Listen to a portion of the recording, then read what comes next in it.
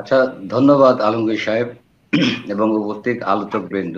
অত্যন্ত বিশেষ করে জনাল ভাই তো আমার খুব প্রিয় মানুষ এবং পপুলার এবং ফ্যামিলার মানুষ। রাজনীতির সাথে যুক্ত আছেন। মহিউদ্দিন ভাই চমৎকার ভাবে ভূমিকা দিলেন। তো আমি হিরো আলম সম্পর্কে বলতে চাই যে একটা তৃণমূল পর্যায় থেকে গ্রাসরুট লেভেল থেকে হাঁটি হাঁটি পাপা করে যেভাবেই হোক, সে কিন্তু বিশ্বের দরবারে নিজেকে পরিচয় করিয়েছে, এটা তার একটি যোগ্যতা। এখন এডুকেশন আমাদের রাজনীতি যারা করেন, যারা করছেন, কতগুলো মানুষই বা এডুকেটেড বড় বড় ব্যবসায়ী হয়তো বা হয়েছে। অনেকেই দেখবে intermediate pass SSC pass non matric তারাও কিন্তু বড় বড় রাজনীতিবিদ হয়েছে। এখন এই হিরো আলমের যে অভিযোগ যে আমাকে শিক্ষিত লোকেরা স্যার বলবে, এটা তারা মেনে নিতে পারছে না। এটা খুব দুঃখজনক। দুঃখজনক এই জন্যেই আমরা যখন ভোটাভুটি হয় বা ভোটের জন্য যখন দাঁড়ে দাঁড়ে যাই, এইসব লোকগুলোকেই কিন্তু রাজনীতিবিদরা জড়িয়ে ধরে, আলিঙ্গন করে, বুকে টেনে নেয় একটা ভোটের জন্য। এই লোকগুলি কিন্তু যায়। সেই লোক তাদের সার ডাকতে তাদের আপত্তি কোথায়? জনগণ সকল ক্ষমতার মালিক। এখন হিরো আলমের জন্ম কেন হয়েছে? এটি একটি কিন্তু আমার কাছে একটি প্রশ্ন। হিরো আলমের জন্ম এই জন্য হয়েছে যে আমাদের বর্তমান যারা রাজনীতি করেন বা রাজনীতিবিদ রয়েছেন, তাদের প্রতি এক ধরনের অনাস্থা থেকেই কিন্তু হিরো আলমের জন্ম হয়েছে। মানুষ কি করে?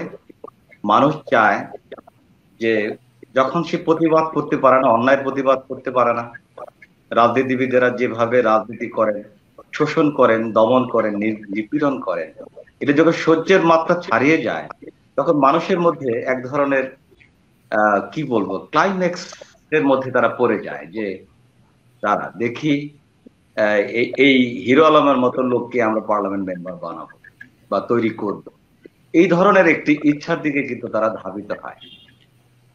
এগুলো হয় হলো রাজনীতিবিদ, বর্তমান রাজনীতিবিদদের প্রতি এক ধরনের অনাস্থায় আমি বলব। এবং আপনারা দেখেছেন, আমরা অনেক সময় আমরা দেখেছি যে ইউনিয়ন পরিষদের নির্বাচনে একদম মানে প্রান্তিক যে লোকটি হয়তো বা দাঁড়ে দাঁড়ে ভিক্ষা করছে, সেও কিন্তু মেম্বার হয়েছে। তারপর আমাদের তৃতীয় লিঙ্গের যে মানুষ, তারাও মেম্বার হয়েছে। হতেই পারে, তাদের এটি গণতান্ত্রিক অধিকার, নৈতিক অধিকার। জনগণ যদি ভোট দেয়, জনগণ যদি আপনাকে ডেজায়ার করে, তাহলে আপনার তো এখানে কিছু বলবার সুযোগ নেই। এবং এই জনগণই কিন্তু সকল ক্ষমতার মালিক তবে প্রশ্ন হলো, এখন যারা সংসদে যে একজন সাংসদ কি করবেন? আইন প্রণয়ন করবেন, আইন তৈরি করবেন, কাদের জন্য? আমাদের জন্য। তা আইন তৈরি করতে হলে তো শিক্ষার প্রয়োজন রয়েছে। এই ভালো এডুকেশনের প্রয়োজন রয়েছে। শুধু আসলে তো তাদের ফাইনাল এবং foremost duty to make a law for the society, for the nation, এটি কিন্তু মূল কথা। তারপরে এরপরে আমরা উন্নয়নমূলক কাজ এই সেই অনেক কিছু অ্যাডিশনাল ওয়ার্ক করি। সেখানে হেরোলমের মতো একজন লোক আইন মেকার হিসাবে বা ল মেকার হিসাবে কতটুকু ভূমিকা রাখতে পারবে? সে না বুঝবে আইন, না বুঝবে কানুন, না বুঝবে তার ত্রুটি বিচ্যুতি, কিছুই বুঝবে না। তাহলে এগুলো কিন্তু এক ধরনের প্রবলেম কিন্তু মানুষ কেন এই উন্মাদনায় জড়িয়ে যাচ্ছে? জড়িয়ে যাচ্ছে এই কারণে যে ওই যে বললাম যে অনাস্থা মানুষ এই বর্তমান রাজনীতিবিদদের। হ্যাঁ ধন্যবাদ। আইন তো তার নিজস্ব গতিতে চলে আর আইনের চোখ হচ্ছে অন্ধ। আইন আইনের মাধ্যমে একটি জাস্টিফিকেশন যখন হয় একটি ভার্ডিক যখন দেওয়া হয় তখন আইনের চোখ থাকে বাধা। আইন মোতাবেক যার যা প্রাপ্য সেটা সে পাবে। এটি আইনের ভাষা। সেই অনুযায়ী হিরো আলম সেটা ওভারকাম করেছে এবং তার অধিকার আইনের আশ্রয় নেওয়ার অধিকার আছে। আইনের ব্যবস্থাপনার মধ্য দিয়ে তার একটা ডিসিশন পাওয়ার অধিকার কিন্তু রয়েছে। সে অধিকার হাইকোর্ট দিয়েছে। এই জন্য আমি হাইকোর্টকে ধন্যবাদ জানাই। মানুষ যখন বিপদে পড়ে, তখন কিন্তু আইনের আশ্রয় নেয়। এবং আইনই হচ্ছে আমাদের সাধারণ মানুষের রক্ষা কবচ।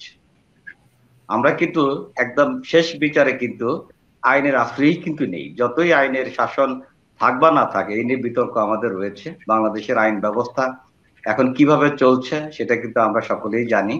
তারপরেও কিন্তু আমি আল্লাহকে বিশ্বাস করি আর না করি একটি পর্যায়ে কিন্তু আল্লাহর উপরেই কিন্তু আমাদের সারেন্ডার করতে হয়। সেই পরম ঈশ্বরের কাছে কিন্তু সারেন্ডার করতে হয় বিচার দিতে হয়। বিচার দেওয়ার কিন্তু জায়গা থাকতে হবে। আর হিরো আলম সম্পর্কে আমি সাবেক আইজি কে একটা অক্ষতে সত্যি শুনেছি যে তার সম্পর্কে কথা বলতে আমার রুচিতে বাঁধে। এটি পাবলিকলি কীভাবে বললেন? একজন শিক্ষিত লোক শিক্ষা মানুষকে কি করে? পরিশীলিত করে। শিক্ষা মানুষকে সিচুয়েশন বুঝবার ক্ষমতা দেয়। মানুষের পালস এবং নর্মস বুঝবার ক্ষমতা দেয়। এই শিক্ষিত লোকগুলো যে এগুলো না বুঝেন, তাহলে তো প্রপার শিক্ষিত হয়েছেন এটা কিন্তু আর বিশ্বাস করতে চায় না। মানুষকে ভালোবাসতে হবে। প্রত্যেকটা মানুষই মানুষের কাছে সমান। Man of the measure of all things Protagoras একজন অ্যানশিয়েন্ট ফিলোসফার উনি বলেছেন man is the measure of all things মানুষই হচ্ছে সবকিছুর মাপকাঠি। মানুষের উপরে কেউ নাই, মানুষ চরম সত্য কথা এখানে হিরো আলম যেভাবেই হোক, আমার কথা হলো জনগণ যদি তাকে চায়, তাহলে আপনি বাধা দেবার কে? বা আপনি তাকে পছন্দ, অপছন্দ করবার কে? হোয়ারি এই প্রশ্নটা কিন্তু আমি করতে পারি। তবে আমাদের যে সামাজিক অবক্ষয় হয়েছে, সামাজিক যে সিনারিও আমরা দেখছি, রাজনীতির যে, রাজনীতিবিদদের যে আচার আচরণ দেখছি এখান থেকে কিন্তু এই জিনিসগুলোর সৃষ্টি হচ্ছে। মানুষ বিরক্ত হয়ে, মানুষ উপায়ন্ত না দেখে এই যাকে তাকে নিয়ে একটা হাস্যরস করে একটি প্রতিবাদ স্বরূপ যে অমুককে আমরা নির্বাচিত করে নিয়ে আসব। দেখি রাজনীতিবিদরা কি করে। এই যে একটা মুখোমুখি অবস্থান, যেহেতু মানুষ তার কথা বলবার অধিকার পাচ্ছে না, সেখানে আইসিটি নামক একটি আইন করেছেন, সেখানে মামলা হয়ে যায়। একটা প্রসেশন করতে পারেন না, একটা মানববন্ধন করতে পারেন না। মানুষ কি করবে? মানুষ তখন এই নিজের যে অস্ত্র ভোটাধিকার এটাকে অস্ত্র হিসাবে সে ব্যবহার করতে চায়। এটাই আমি মানে একজন মনোবিজ্ঞানের ছাত্র হিসেবে দর্শনের ছাত্র হিসেবে সমাজ বিজ্ঞানের কিছুটা আমার লেখাপড়া রয়েছে। সেখান থেকে আমি বলতে পারি যে মানুষ এটা প্রতিবাদ স্বরূপ এই কাজগুলো কিছু করছে।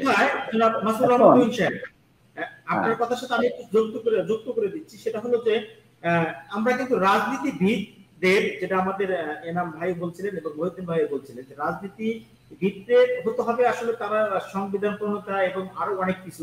কিন্তু সম্প্রতি আমরা ইউনিয়ন পরিষদ নির্বাচনেও আমরা দেখেছি যে যারা অ্যাকচুয়ালি রাজনীতিবিদ, যারা দেশ নিয়ে ভাবে সংসদ নিয়ে ভাবে তারা মানে প্রণতা ইত্যাদি অনেক কিছু নিয়ে ভাবে, তাদেরকে জনগণ ড্রাইভার করে সাধারণ যে মানুষগুলা, যারা মানে এই সম্পর্কে তাদের কোনো ধারণা নেই, তাদেরকে নির্বাচিত করছে। সেটা উদাহরণস্বরূপ যদি আমরা বলি সেই তৃতীয় লিঙ্গের যে নজরুল ইসলাম ঋতু তিনি বিজয়ী হলেন হ্যাঁ আসলে আমরা এদের কাছ থেকে একটু বলি এগুলো হচ্ছে তো আমি তো কিছুক্ষণ আগেই বললাম যে এগুলো রাজনীতিবিদদের থেকে কি আমরা দূরে সরে যাচ্ছি? এবং কেন আমরা দূরে সরে যাচ্ছি? অবশ্যই অবশ্যই যাচ্ছে। আপনারা দেখেন না আপনাকে যারা ডিকটেট করছে আপনার পার্লামেন্ট মেম্বার যারা হচ্ছে আপনার টাঙ্গালের রেসপেক্টেই ভাবেন তারা কি রাজনীতি নিয়ে দেশে ভাবেন?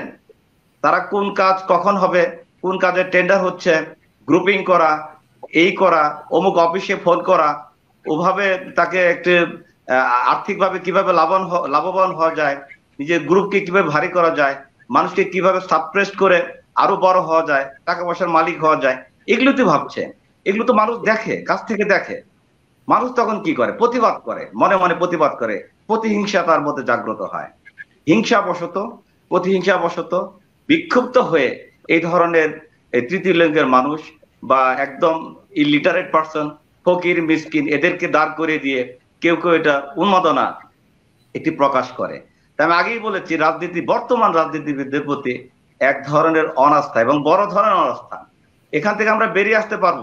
যদি এই রাজনীতি দলগুলো, সেটা বিএনপি হতে পারে, জাতীয় পার্টি হতে পারে, বাংলাদেশ আওয়ামী লীগ হতে পারে, তারা এই শিক্ষিত লোকগুলোকে প্রোভাইড করছে না। এনে প্রোভাইড করছে কাদের? যাদের মাস্টার পাওয়ার আছে, যাদের অর্থ আছে, তাদেরকে কোটি কোটি টাকার বাণিজ্য হয়, আমরা জানি এই এমপি ক্যান্ডিডেট হওয়ার জন্য। তারা দেশের জন্য কি করবে? এটা রাজনীতিবিদরা জানে। তারা জানে সামহ আমার কিছু পার্লামেন্ট সদস্য দরকার, আমাকে সরকার গঠন করতে হবে এবং আমি একা পাওয়ার হোল্ড করব। আজকে দেখেন মাননীয় প্রধানমন্ত্রীর একক নির্দেশে দেশ চলছে। এটা কি সম্ভব? এত বড় একটা দেশ দেশের উইংস রয়েছে, এতগুলো মন্ত্রণালয় রয়েছে এই কাজগুলো মন্ত্রণালয় কেউ কিন্তু স্বাধীনভাবে কাজ করে না। করার কিন্তু মাননীয় প্রধানমন্ত্রী কিন্তু বলে নাই স্বাধীনভাবে কাজ করেন না। কিন্তু তারা যে কাজে করতে যায়, প্রধানমন্ত্রীর কনসার্ন লাগে। যে নেত্রী বাপা এটা আমি কি করতে চাই বা এইভাবে করতে চাই?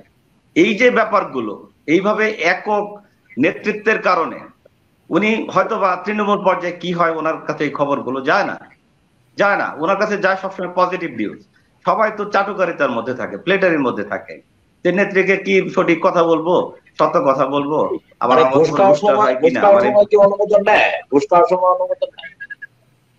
যখন ঘুষ খায় অপকর্ম করে হ্যাঁ। তখন অনুমোদন দিতে হ্যাঁ? সেটাই। এই যে বিষয়গুলো হ্যাঁ, এই যে আপনার আহ, কাজ করার সময় অনুমোদন লাগে কিন্তু ঘুষ খাওয়ার সময় অনুমোদন লাগে তখন কি বলে যে মাননীয় প্রধানমন্ত্রী আমি কি ঘুষ খেতে পারি? এটা বলে? না না না, এটা এটা আপনি ঠিকই বলেছেন। এটা আমি এটা শুনেন ডার্কের লোক যারা ডার্কের লোক যারা, তাকে কিন্তু হাইট করেই কিন্তু কাজগুলো করবার চেষ্টা করে। চোর কখনোই দিনের বেলায় চুরি করে না, লোক সম্মুখে চুরি করে না। চোখ আড়ালেই কাজ করে চোরের একটা ধর্মই। দুর্নীতি যাই করুক আড়ালে আবডালেই করে এবং করলেও কিন্তু কিন্তু মাননীয় প্রধানমন্ত্রী যে জানেন না তা কিন্তু নয়। কারণ উনি তাদের আশ্রয় প্রশ্রয় ওনার ওনাদের সাপোর্টেই কিন্তু আজকে প্রধানমন্ত্রী হয়েছেন। উনি সবই বুঝেন। সবই জানেন সবই বুঝেন। কিন্তু এত মাত্রায় তারা ছাড়িয়ে গিয়েছে। অনেক ক্ষেত্রে দেখা যায় রাজনীতিবিদরা বিদেরা বর্তমানে এখন তাদের কাছে হলো গৌণ। তারা- তারা কিন্তু গৌণ। গৌণ। কিন্তু রাজনীতিবিদদেরই কিন্তু দেশ শাসন করবার কথা। কিন্তু এখন আমলা নির্ভর রাজনীতি কিন্তু চলে আসছে। যেমনটা বলছিলেন আমাদের কাজেই এটি- আজকের এই ভার্চুয়াল মধ্যে আমি এটি অনুরোধ জানাব আর আর- মিনিট এক মিনিট ভাইয়া। আর এই যে হিরো আলম সম্বন্ধে এটি এটি নিয়ে আর কথা বলার সুযোগ নেই। কারণ এটি হিরো আলম হলো সমাজের দুর্নীতি অনাচার অবিচারের প্রতিবাদের প্রতীক হিসাবে আজকে জনগণ তাকে ভোট দিয়েছে। ধন্যবাদ. আজকে শুভরাত্রি। সবাই ভালো থাকবেন সুন্দর থাকবেন। আসসালামু আলাইকুম। যে জনাব মাসুদুর রহমান আপনি এক এক মিনিটে শেষ করবেন। জি জি জি। জনাল ভাই অত্যন্ত চমৎকার কথা বললেন অনেক পরিশীলিত রাজনীতিবিদ। ওনাকে আমার ব্যক্তিগতভাবে ভালো লাগে পজিটিভ কথা বলেন। ফেসবুকেও তো অনেক লেখা দেখি চমৎকার। সমাজ বিনির্মাণের জন্য অনেক কাজ করার চেষ্টা করেন। I salute him. তো ওই ছাত্রদের কথা বললেন যে ছাত্র রাজনীতি ছাত্র রাজনীতিতে আসছে না কেন? বিভিন্ন নির্বাচন হচ্ছে না। বিভিন্ন বিশ্ববিদ্যালয় কলেজগুলোতে ওইভাবে সেই ছাত্র সংসদ তৈরি হচ্ছে না। যেহেতু ছাত্র নিয়ে আমার ডিলিংস এই জন্য আমি এখানে বলতে চাই। আমি মেজর জেনারেল মাহমুদুল হাসান আদর্শ কলেজের একজন শিক্ষক। একাদশ শ্রেণির বা দ্বাদশ শ্রেণির যে ছাত্রছাত্রী রয়েছে তাদের শিক্ষার মান যদি আপনি কল্পনা করেন আমার অ্যাসেসমেন্টে তাদের বুদ্ধাঙ্ক হচ্ছে স্ট্যান্ডার্ড ফাইভ ক্লাস ফাইভের একটি স্টুডেন্টের যে জ্ঞান থাকা দরকার, একাদশ, দ্বাদশ শ্রেণির ছাত্রছাত্রীদের সেই জ্ঞান রয়েছে, ব্যতিক্রম রয়েছে দুই একজন।